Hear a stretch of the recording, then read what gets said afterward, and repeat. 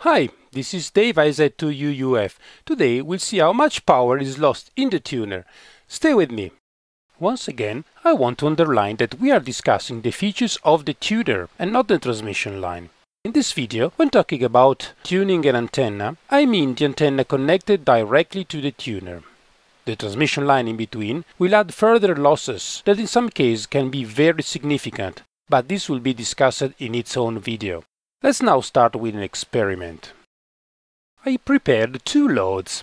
Load number 1 is a 470 ohm resistor. Load number 2 is a 1 ohm resistor in series with a 47 picofarad capacitor. Let's measure them. At 7.1 MHz, that will be our test frequency, the first load shows an impedance of uh, R460X minus 14.29 the impedance modulus is about 460 ohms.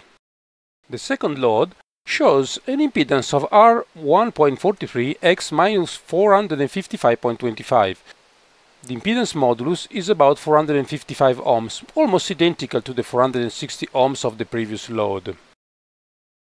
I tuned my MFJ949E to obtain SWR1 with both loads and I connected it to my FT817.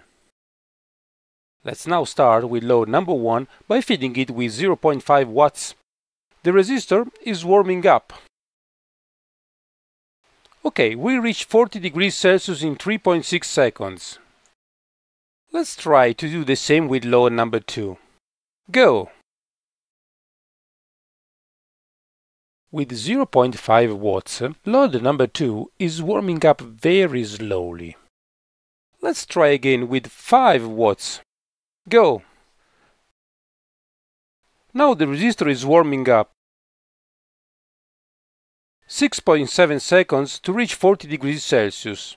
The capacitor has also warmed up a little bit due to its internal resistance. It appears that the tuner had an hard time in feeding load too.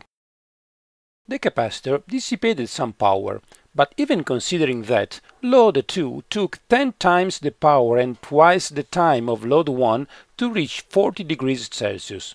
This makes 20 times the power, or translated in dB, somewhere around 13 dB.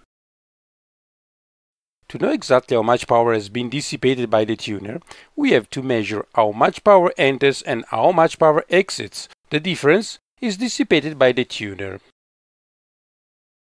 We can do this by measuring the RMS voltage that develops across the input and across the output, and taking advantage of the Ohm's law applied to complex numbers. To have a stable and reliable source, I'll use a laboratory signal generator set to 0 dBm, which is 1 milliwatt. With my MFJ949E, I've been able to tune load number 1 to VSWR 1.02. Let's now measure the voltage on load 1 with the scope. We have 223 mV on the input and 644 mV on the output. Now we know the voltage on input and output. We also know the impedance of input and output.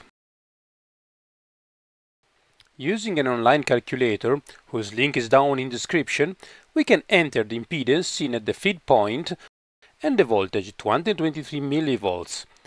We have minus 0.05 dBm, which is 0.99 milliwatts, which is exactly what we expected.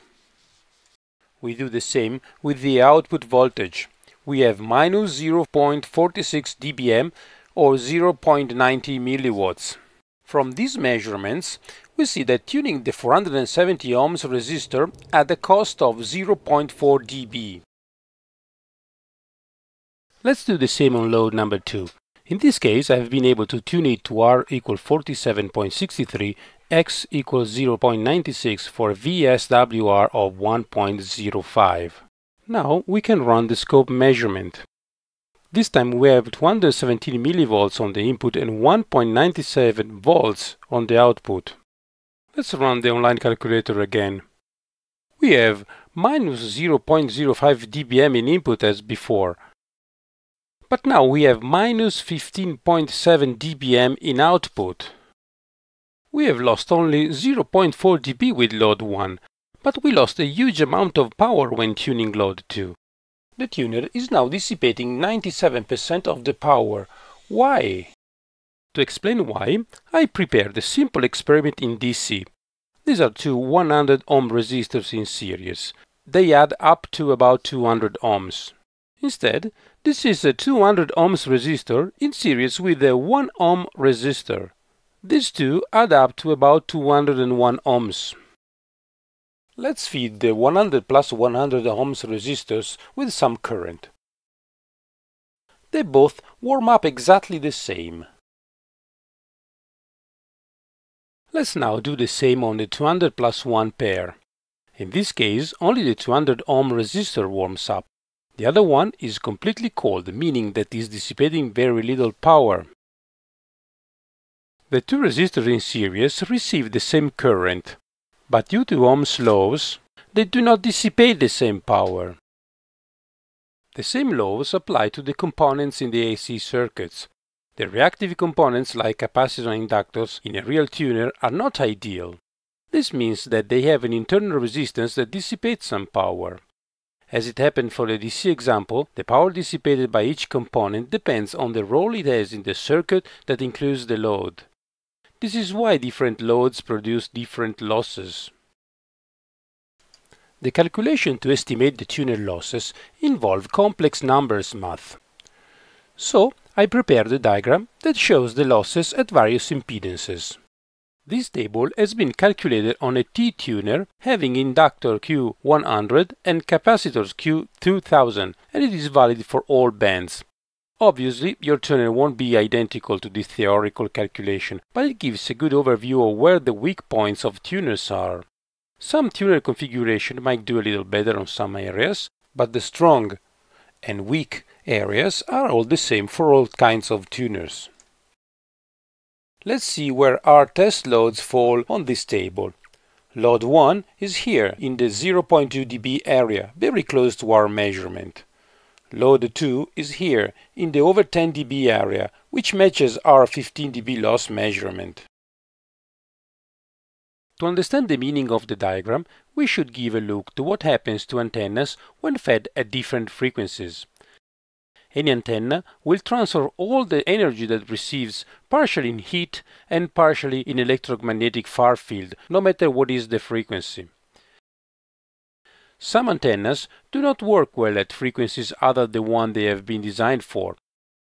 For example, this 20 meter band Yagi in free space has efficiency over 99% and maximum gain of 9 dBi. If we feed it at 21 MHz, it will retain its efficiency, but all gain will be lost. Still, all the power will be irradiated, but not concentrated in one direction anymore. However, other antennas like dipoles are less sensitive to frequency changes. For example, let's take a 20 meter band half wave dipole. If we feed it at 21 MHz, we'll still have the same lobes, the only bad thing that happens is that R is 354 and X is 640, and the SWR is very high. If we feed it in the 160 meter band, we still have nice lobes, but impedance will have R less than 1 and X over 3600. Obviously, we can't have nice lobes at any frequency, but we still have a good range. We can now overlay on the diagram the spots where various dipole lengths fall. For example, this is the usual half-wave dipole. As we can see, when antennas are very short in relationship to their wavelengths, adapting their impedance becomes very expensive in terms of efficiency. On the other side, longer dipoles can be tuned at a very little cost. Finally, let's give a look to the ARRL standard tuning testing procedure. This is made using 8 resistive loads. In my opinion, this test is not very interesting because these loads all fall in an impedance area very easy to match and where seldom real loads are. In conclusion, the tuner dissipates some power due to the internal resistance of its components. The amount of power dissipated depends on the rules of series and parallel components in the AC circuit that includes the load. If the load resistance is high or the reactance is low, the losses can be very low. If the load resistance is low and reactance is high, losses can become catastrophic. This explains one of the reasons why short antennas are usually not very efficient. I hope you enjoyed this video. If you would like to support this channel, don't forget to subscribe, click the bell and uh, write your comments.